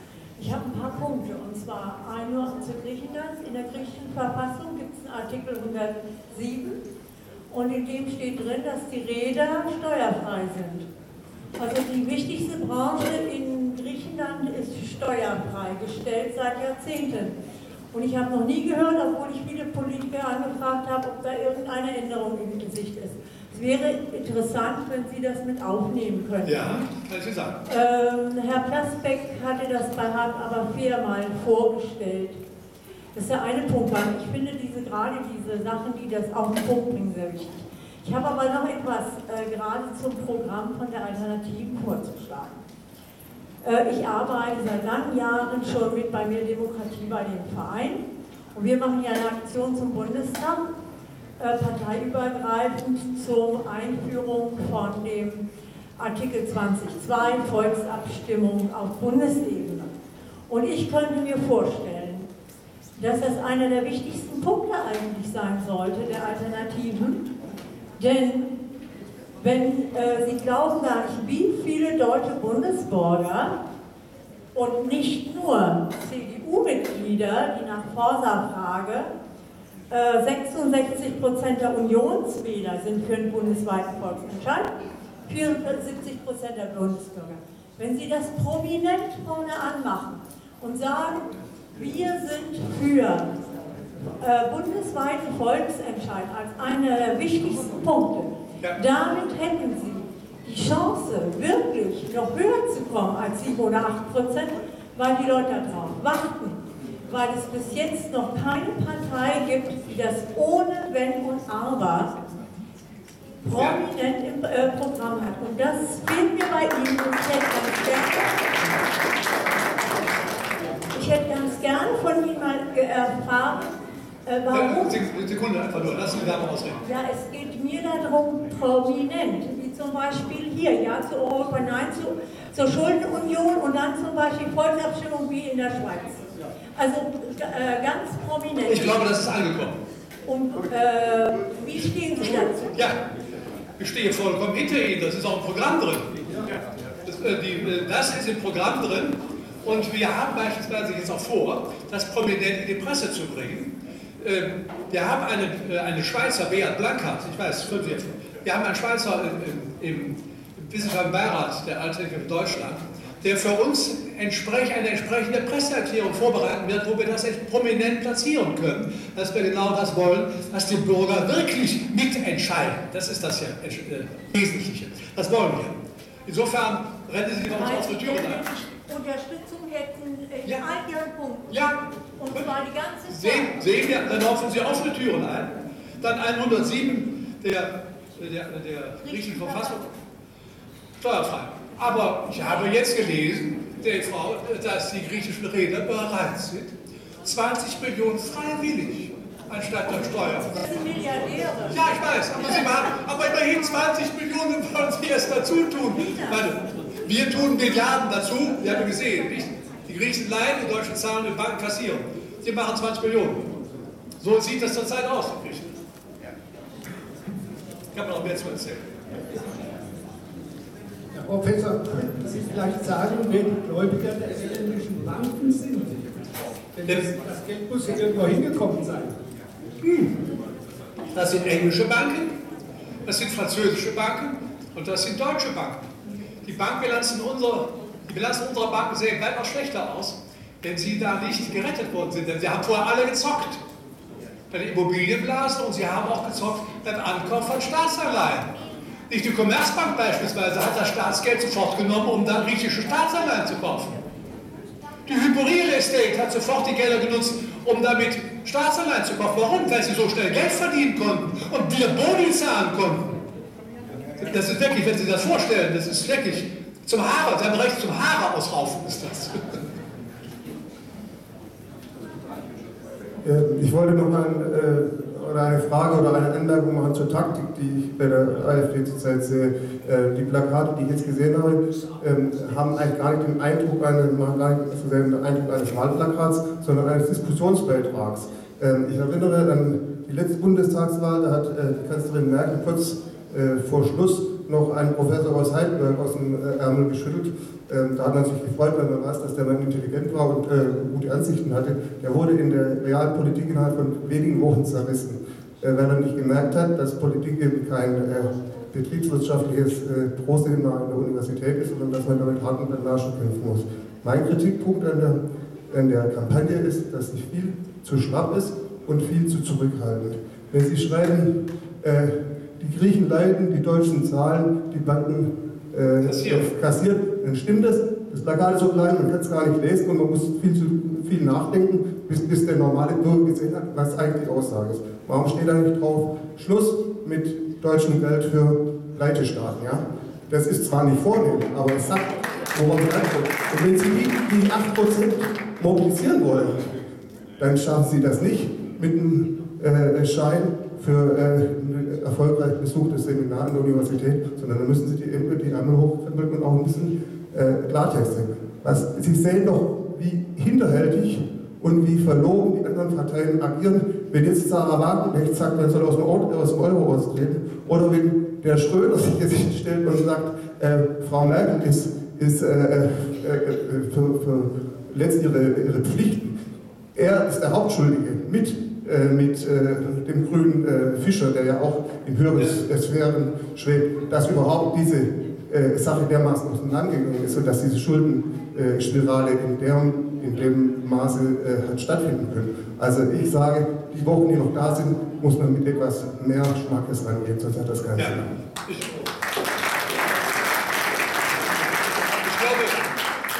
glaube, Ihre Vorschläge, was äh, die Taktik angeht, äh, ist ja gut angekommen. Ich muss auch sagen, wenn ich in Berlin oder sonst wo äh, Slogans lese, der Frühling beginnt im Herbst. Da weiß ich natürlich, was gemeint ist, wir können jetzt AfD wählen und dann geht es uns besser. Aber das versteht der normale Bürger ja nicht. Oder die Bürger sind systemrelevant. Das versteht der normale Bürger nicht, was damit gemeint ist. Insofern ist es richtig, diejenigen plakativ anzusprechen, die leiden werden, die Rentner. Die Rentner können ihre, ihre Ansprüche abschreiben, wenn wir für alle Schulden in der Eurozone aufkommen müssen. Denn das ist ja nicht angespartes Kapital, was da ist. Das sind ja bloß Ansprüche, die angesammelt worden sind, die politisch geändert werden können. Das sind die Notleidenden. Die Sparer sind die Notleidenden, die um ihren Lebensabend gebracht werden. Und was nun jetzt äh, Herrn Kirchhoff angeht, bei der Wahl 2005 war das, ja, er hat ja ein eigenes äh, Steuerkonzept gehabt. Und es war nicht der Herr Schröder, der ihn hat in die Ecke stellen können, sondern es war die eigene CDU-Partei, die es zugelassen hat, dass er in die Ecke gestellt wird. Denn wenn von Merkel auf das Steuerkonzept von Herrn Kirchhoff angesprochen wird, das ist Zukunftsmusik. Und drei Tage später sagt sie, das sind Visionen. Jeder weiß, dass Zukunftsmusik und Visionen in der Politik ein tödliches Urteil sind über Konzepte. Wer das macht, darf sich nicht wundern, dass man dann seinen Professor in die Ecke stellt. Und darum haben sie auch zu Recht verloren der Zeit. Wer sich einen Professor nimmt, um damit sozusagen Eindruck zu schinden, muss sich auch hinter den Professor stellen und ihn nicht im Regen stehen lassen. Das war unfair ist der CDU damals.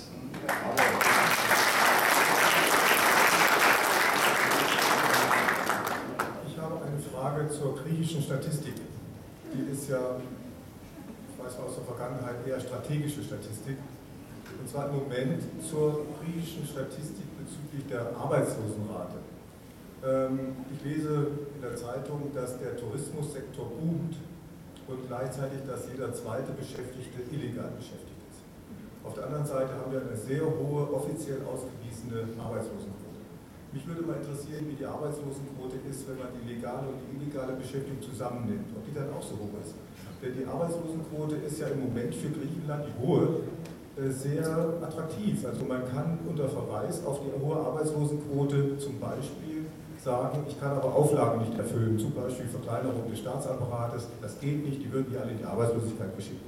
Oder ich kann eben neue Hilfsgelder einwerben mit hoher Arbeitslosigkeit.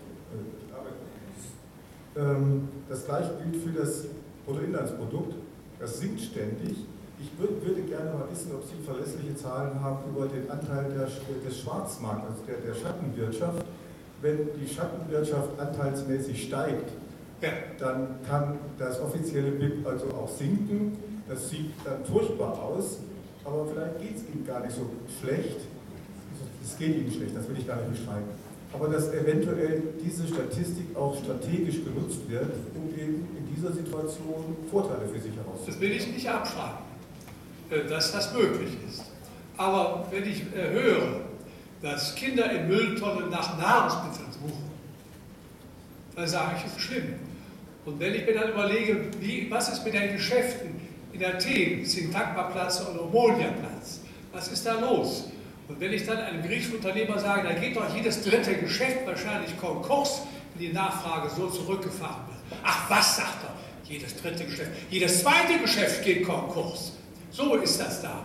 Und wenn Sie morgens sich in die, ins Café setzen, dann sitzen, sehen Sie junge Leute da an den Tischen herumsitzen, den ganzen Tag. Kräftige junge Leute, die nichts zu tun haben. Das sehen Sie. Dass natürlich jetzt Schwarzarbeit kommt, ist ja eine normale Reaktion. Aber Sie sehen, wie dieses Land verarmt wie Sie sehen, wie dieses Land sozusagen in die Rezessionsfalle hineingestoßen wird, wie dieses Land immer weniger in der Lage ist, seine Schulden zu bezahlen. Jetzt hat man das Land so ausgequetscht, dass es einen Überschuss, einen Primärüberschuss in der Haushaltsbilanz erwirtschaftet von 2,7 Prozent. Wenn Sie das hochrechnen auf 360 Milliarden Schulden, ja, dann wissen Sie, dass die Griechen noch so sehr sparen können, sie werden niemals in der Lage sein, das zurückzuzahlen. Das, so, ist, so, ist, die Situation zurzeit in Griechenland und die Griechen werden nie auf einen grünen Zweig kommen, wenn wir es weitermachen, sondern wir werden alle zwei Jahre einen Schuldenschnitt haben und wir werden alle zwei Jahre einen Schuldenschnitt in Portugal haben werden. Dann ist auch völlig klar, wenn der Griechen einen Schuldenschnitt, also einen Erlass gibt, Warum müssen dann die Portugiesen immer in die Röhre gucken? Die werden auch sagen, wir wollen auch so ein Ding. Und wenn beispielsweise der Kommissionspräsident Herr Barroso, der Portugiese ist, eine portugiesische Regierung, die fällt, stabilisiert, was wird er denen gesagt haben? Haltet durch bis zum 22. September, dann werden die Karten neu gemischt. Das wird er denen gesagt haben. Und darauf können wir uns einstellen. Meine Damen und Herren, ich habe im Moment aktuell drei Fragen sozusagen auf der Liste. Es ist 20 Uhr. Ich denke, wir sollten dann vielleicht auch zum Ende kommen. Oder wie ist Ihre Meinung? Also ich würde die drei Fragen rumgehen lassen und danach äh, die nächsten Programmpunkte ansteuern wollen. Ja, also ich habe noch mal eine Anmerkung zu dem Beitrag von vorhin, dass mehr, mehr, dass mehr aggressiver vorgegangen werden soll, dass plakativer da vorgegangen wird. Äh, ich denke, dass ein zentraler Punkt halt auch der ganzen Argumentation ist, dass wir halt eben hier mehr mit Sachargumenten arbeiten und weniger mit Parolen. Und letztlich ist es auch das, was auf Dauer zählt und auch durchhalten zu halten sein wird. Also in dem Moment, wo man sich mehr oder weniger zu stark verkürzt, ja, muss die Wahrheit zwangsläufig auf der Strecke bleiben. In der Tat. Wir können nur durch Sachargumente überzeugen. Ich meine, ich versuche natürlich meinen Vortrag etwas polemisch aufzuhübschen, wenn Sie so wollen. Nicht? Aber an sich habe ich ja hier Sachaussagen präsentiert. Ich habe den Zusammenhang darzulegen versucht, damit jeder weiß, worum es hier geht. Und wenn wir von der Haftungsunion sprechen, habe ich genau die Gründe gezeigt, dass sie verbunden ist und was dahin führt. Hier hinten, der junge Mann hatte noch eine Frage. Ja, also ich ähm, bin der Meinung, dass es wesentlich schwieriger ist, eine Währungsunion zu machen, als eine Währungsunion aufzulösen. Deswegen die Frage, wie stellen Sie sich ganz konkret praktisch und äh, technisch vor, äh, wie Griechenland aus der, aus der Eurozone austreten könnte? Ja, also zunächst sage ich immer, wir alle wissen, dass wenn es im Gebirge schneit, sich Lawinen aufbauen. Das weiß jeder. Wir wissen bloß nicht, wann sie fällt und wir wissen nicht, was der Auslöser der Lawine ist. So kann man sich auch die labile Situation innerhalb der Eurozone vorstellen. Nicht, wenn beispielsweise jetzt unsere Regierung sagen würde, wir stehen nicht mehr hinter Draghi, denn Draghi konnte den Satz, and believe me, it will enough, nur sagen, weil er wusste, dass die deutsche Bundesregierung hinter ihm steht. Sonst hätte er Satz nicht sagen können. Wenn die Bundesregierung sagt, das machen wir nicht mehr, wir werden nicht mehr unsere Sprache enteignen, wir werden dafür sorgen, dass auch die Rentenbeiträge, die gezahlt worden sind, einigermaßen sicher sind, dann würde sofort die Spretzen auseinandergehen und dann würden, würden die Länder, die es nicht aushalten können, aus der Währungsunion austreten. Und auch Herr Issing, der ja lange der Chefvolkswirt der Europäischen Zentralbank war, sagt, wir müssen zur No-Bail-Out-Klausel zurückkehren, also zu der Klausel, die sagt, es werden Länder nicht mehr herausgepaukt, die finanzielle Schwierigkeiten haben. Dann haben sie genau den Exitus, den ich gerade da theoretisch beschrieben habe. Oder wenn die, die Finnen sagen, die Finnen können doch irgendwann sagen, es wird uns jetzt zu teuer. Weg mit Schaden, wie die Rheinländer sagen. Also jetzt hast du investiert, aber das weg, geh raus. Und die Finnen haben sich ja sogar ihre Ausleihung besichern lassen. Und wissen, wissen, wer die Besicherung bezahlt hat? Wir! Das kann alles passieren. Und deswegen sage ich, das muss man jetzt sehen. Und das Bundesverfassungsgericht, darüber habe ich nicht gesprochen. Wenn die sagen, das, was die Bundesbank tut, ist mit dem Grundgesetz nicht vereinbar, weil es gegen das Budgetrecht verstößt. Und äh, der frühere Berichterstatter Udo Di Fabi hat gesagt, wenn das gemacht wird, Staatsanleiheankäufe zur Finanzierung von Staatsdefiziten, das ist mit dem Grundgesetz und den Europaverträgen vereinbar. Dann müsste die Bundesregierung austreten. Dann haben Sie genau die Situation.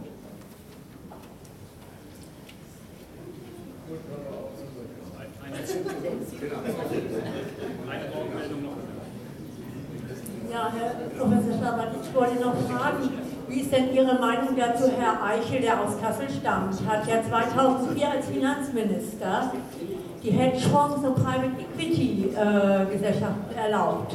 In Schweden ist das ja noch immer noch verboten, äh, aufgrund der schlechten Erfahrungen in den 90er Jahren. Wie ist ihr, Ihre Meinung dazu? Und dann zum Beispiel, wie wäre es, wenn Sie ganz plakativ mal den äh, Weltkonzern Apple nehmen?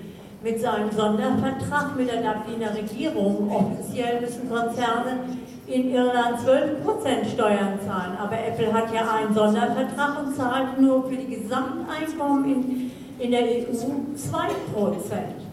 Also da würden sich ja manche hier der Anwesenden freuen, wenn sie nur 2% der eigentlichen Steuerschuld zahlen müssen. Ich glaube, das sind Dinge, die inzwischen in der Bevölkerung bekannt sind. Und wie wollen Sie das jetzt äh, bei der Alternative umsetzen, ist meine Frage. Danke. Ja. Also Herr Eichel wusste natürlich um die Schwierigkeiten auch des Stabilitäts- und Wachstumspaktes. Sie haben ihn ja bewusst gebrochen, das nur nebenher.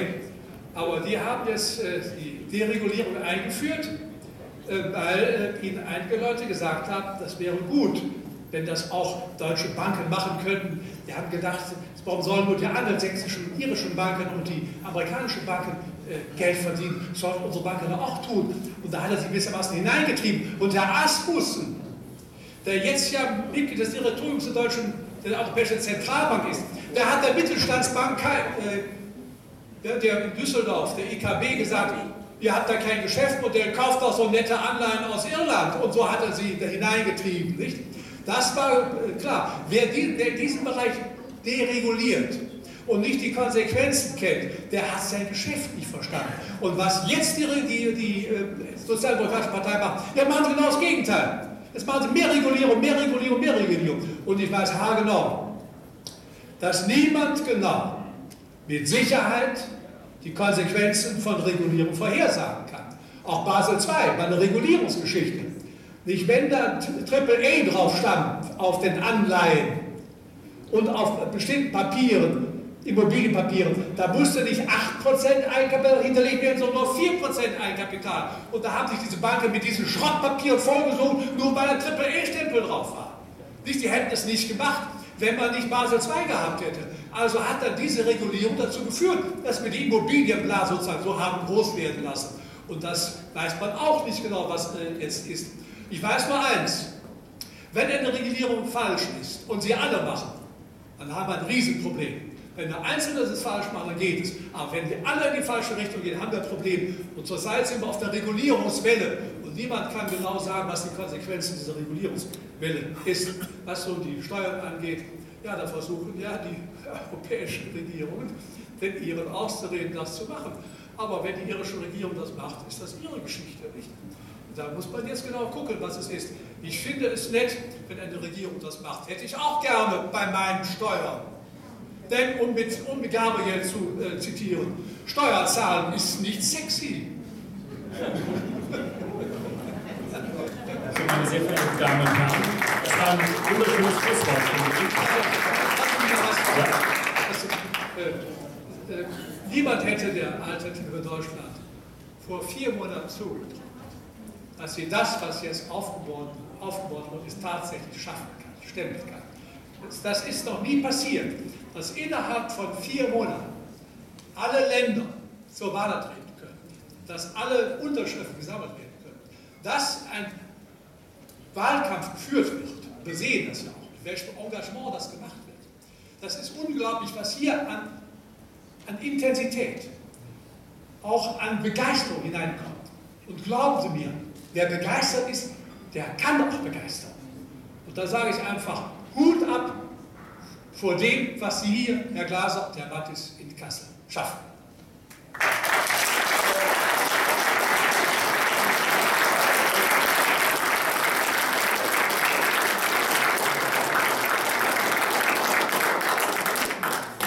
Das war jetzt auch ein sehr hübsches Schlusswort. Vielen Dank dafür. Aber ich gebe das gleich weiter, weil ohne die mitwirken würden, äh, die mitwirken, können wir das überhaupt nicht schaffen. Und es sind wirklich viele, die sich jetzt schon engagieren und wir hoffen, wie gesagt, dass noch mehr werden. Es gibt zu dem Thema Euro, Euro-Rettung wahrscheinlich hier im Raum noch geschätzt 725 Fragen. Aber wir müssen mal aufhören. Und ich würde sagen, wir machen das jetzt. Ähm, ich würde mir erlauben, noch mal kurz auf die Sache mit den, mit den Sonntagsfragen und den Wahlprognosen einzugehen. Heute Abend fiel schon der Name von der Frau Köcher, das ist jetzt die Chefin vom Allensbach-Institut. Und im Jahr 1996 gab es eine Situation, und ich würde meine Nachrichtensprecherin schon mal bitten, ans Mikrofon zu gehen. Im Jahr 1996 gab es eine Situation, das ist in Baden-Württemberg gewählt worden. Und da ist eine Partei auch mit angetreten, mit der wir uns überhaupt nicht vergleichen wollen. Es geht nur um die Methode, die angewandt wurde. Die Partei, die in Baden-Württemberg angetreten ist, waren die Republikaner. Und das Allensbach-Institut hat die Republikaner sechs Tage vor der Wahl mit 4,5 Prozent in der Tabelle gehabt. Und am Wahltag hatten die Republikaner 9,1 Prozent. Da kann man ja sagen, da haben die sich getäuscht, kann jedem mal passieren, ist nicht so schlimm. Das Schlimme ist, was im Spiegel hinterher zu lesen war. Und deshalb schalte ich jetzt mal kurz ins Nachrichtenstudio. Und da, sitzt heute, da steht heute zufällig Frau Friedenberg und liest uns ein paar Zitate, ganz wenige, aus dem Spiegelartikel aus dem Jahr 1996 vor. In einem Hörfunkinterview mit dem Südwestrundfunk SWF plauderte Köcher tags nach der Wahl, dass wir auch wussten, dass die Republikaner drin sein würden. Allerdings hatte Allensbach das Wissen für sich behalten und ist vorgezogen, die Republika Republikaner sechs Tage vor der Wahl auf 4,5 Prozent zu schätzen. Im Wahltrend, so Köcher, waren mit jeder Welle die Republikaner stärker drin, sodass wir davon ausgingen, sie werden es am Wahltag locker schaffen. SWF-Reporterin Stefanie Schneider, ja, aber veröffentlicht haben sie das nicht. Köcher, nein. So multiplizierte die Forschungsgruppe Wahlen, ähm, Wahlen ihre Republikanerergebnisse in der Vorwahlzeit mit dem Faktor 1,7 und bei der Prognose am Wahlabend für die Bürger gleich nach der Stimmabgabe gefragt werden, noch mit 1,2. Die Mannheimer lagen mit ihrem Tipp für Baden-Württemberg am Ende ziemlich richtig. Vorhersage 8%, Prognose 8,5%, tatsächliches Ergebnis 9,1%. Wir wollten nicht durch die Veröffentlichung der Umfragenden, erklärte Köcher im SWF, vor, der Wahl eine Sensation schaffen, in dem Sinne, dass dann jeder nur noch über die Republik, äh, Republikaner gesprochen hätte. Meine Damen und Herren, lassen Sie das auf der Zunge zergehen. Das Meinungsforschungsinstitut wollte nicht vor der Wahl durch Preisgabe der eigenen äh, erhobenen Umfragen für eine Sensation sorgen. Und was meinen Sie, was das für eine Sensation wäre, wenn bei der nächsten Sonntagsfrage die AfD mit 6 oder 7 Prozent in der Umfrage erscheinen würde? Dann wäre nämlich genau die Situation da, die Frau Köcher damals beschrieben hat. Und ich befürchte, ich weiß es natürlich nicht, aber so wie ich damals 1998 nie geglaubt hätte, dass uns die Politik so belügen wird in Sachen so befürchte ich heute, dass auch die Meinungsforschungsinstitute der Regierung die Stange halten, indem sie uns klein halten, uns mit unseren Umfragen geben. Und ich erlebe es immer wieder, wenn wir am Friedrichsplatz stehen und Menschen ansprechen, dass jeden Samstag so vier, fünf dabei sind und wir sprechen bestimmt jeder von uns zwischen 60 und 100 an. Also, die, also bei mir wären es dann zwischen 60 und 100 Menschen, da sagen bestimmt drei oder vier, ich würde euch ja wählen, aber die Stimme ist ja verloren, weil ihr schafft es ja sowieso. Ja, und das ist diese sogenannte Schweigespirale, das kann man schön googeln im Internet. Darüber hat sich die Frau äh, Nölle Neumann, die Gründerin des Allenbach-Institutes, mal ausgelassen. Und diese Schweigespirale, die soll jetzt auf uns angewandt werden. Deshalb mein Appell an Sie, lassen Sie sich durch diese sogenannte Sonntagsfrage nicht kirre machen. Denn Sie wissen ja, dass wir da sowieso belogen werden, weil die ca. 30 Prozent nicht wieder, die tauchen bei keiner Sonntagsfrage auf. Aber die gibt es. Und ich bin sicher, dass wir jetzt schon viel bessere Umfragewerte hätten, wenn man das, was man erhebt, auch veröffentlichen würde. Deshalb vielen Dank für Ihre Aufmerksamkeit an der Stelle. Vielen Dank ins Nachrichtenstudio.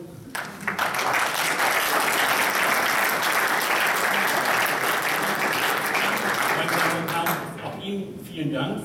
Ich gehe einfach davon aus, dass es Ihnen gut gefallen hat. Nehmen Sie das mit nach Hause, reden Sie mit Ihrer Familie drüber, reden Sie mit Ihren Nachbarn über diese Veranstaltung und die AfD und sorgen Sie dafür, dass am 22. September bei der Bundestagswahl für die, die uns nicht im Bundestag haben wollen, eine riesengroße Überraschung passiert. Denn unser Land braucht eine Alternative im Bundestag. Werben Sie dafür, kommen Sie zu uns am Stand am Samstag, unterstützen Sie uns oder unterstützen Sie die Partei überhaupt, indem Sie eintreten, Förderer werden oder spenden oder irgendwas Profanes machen. Herr Professor Stabatti, ich frage Sie jetzt mal, werden Sie jetzt noch Bücher signieren? Oder? Ja, ja, natürlich. Also Herr Professor Stabatti begibt sich jetzt zum Büchertisch. Das beginnt das Geschäft. Und er muss jetzt sein Geld verdienen. Der Herr Steinbrück hätte nach einer Stunde Redezeit, Sie wissen es ja, schon 20.000 bis 25.000 Euro verdient. Ich verrate Ihnen ein kleines Geheimnis, das zahlen wir Herrn Professor Stabatti nicht. Ja, also er muss jetzt versuchen, seine Bücher zu verkaufen, unterstützen Sie ihn dabei. Wie gesagt, an alle Beteiligten, allen voran natürlich Herrn Professor Stabatti, der wahrscheinlich ein sehr, sehr volles Programm hat als Wahlkämpfer. Herzlichen Dank, dass Sie hier waren. Behalten Sie mich Ihrem Platz.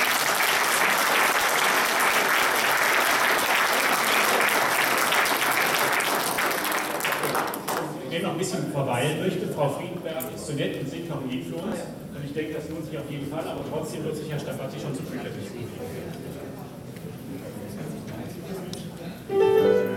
Ja, dieser Song äh, wird von Michael Jackson geschrieben und äh, der war ja auch mal sehr dafür, ähm, sich selbst erstmal zu verändern und selber was in die Hand zu nehmen. Und so heißt dieser Song Man in the Mirror, Make a Change. gonna make a change for once in my life. It's gonna feel real good. Gonna make a difference. Gonna make it.